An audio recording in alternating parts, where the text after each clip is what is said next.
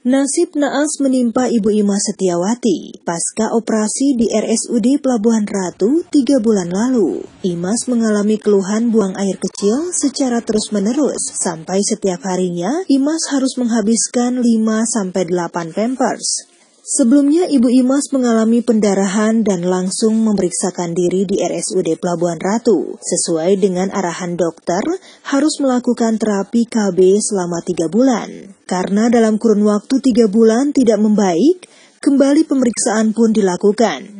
Dengan hasil USG, Ibu Imas harus dilakukan operasi yang disebut operasi mium atau pengangkatan daging jadi sekaligus pengangkatan rahim. Pasca operasi keluhan pun disampaikan sampai pemeriksaan pun sudah empat kali dilakukan. Pertamanya sih pendarahan, terus uh, saya kan uh, di asalnya tuh di Korpri minta rujukan, terus ke rumah sakit, ya itu katanya di USG nggak ada apa-apa. Ya udah kita coba dulu pakai suntik KB tiga bulan. Katanya terus sudah disuntik udah itu pas bulan keempat langsung dijadwalkan untuk operasi. Operasi sih lancar.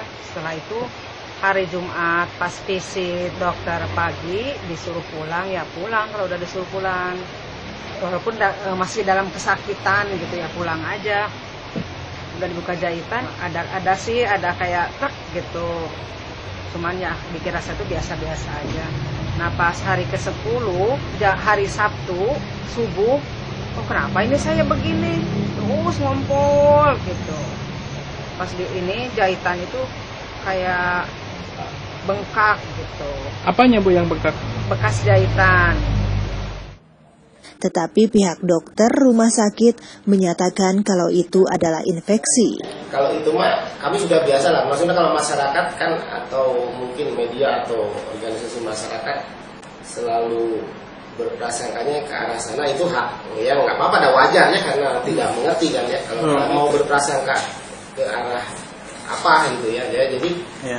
kita kembalikan aja nanti dokter-dokter yang lebih ahli yang mungkin bisa menjelaskan hal ini gitu.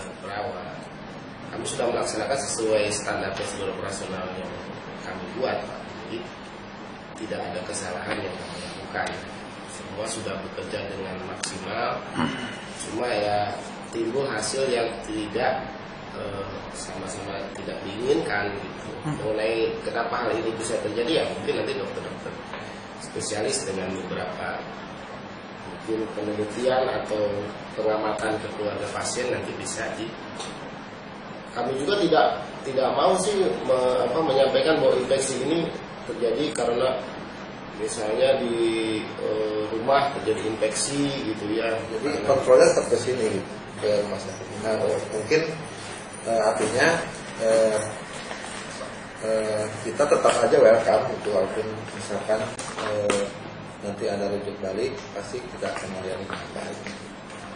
Harapan kita ya eh, apa ya ibu masih tetap jadi eh, bagian dari upaya untuk kita rawat kembali gitu. Itunya gitu. Jadi eh, dokter spesialisnya menerangkan apa yang terjadi sehubungan dengan pertanyaan uh, dari keluarganya sudah dijelaskan gitu. Kan soal puas atau tidak puas dari penjelasan itu tergantung orang yang menerimanya saja sebenarnya apakah memang tetapi kalau saya tanya anaknya sih mereka menjelaskan kejadian. Tinggal mungkin sekarang setelah operasi yang kedua di Hasan Sadikin apa nanti misalkan hasilnya sedikit mengembalikan duduk balik ke kita untuk kontrolnya atau tetap saja ditangani di sana? Tinggal nunggu aja itu. Kalau misalkan oh ternyata rujuk baliknya untuk kontrol selanjutnya ditangani oleh rumah sakit pelabuhan pasti akan baik saat pihak keluarga mencoba memeriksakan diri ke rumah sakit lain, pihak rumah sakit Hasan Sadikin mengatakan diagnosa yang berbeda. Ibu Imas positif fistula vaginalis atau mengalami bocornya kandungan kemih bagian atas ke vagina dan harus dilakukan operasi yang kedua kali setelah lima kali pemeriksaan. Dari Pelabuhan Ratu, tim SMTV mengabarkan.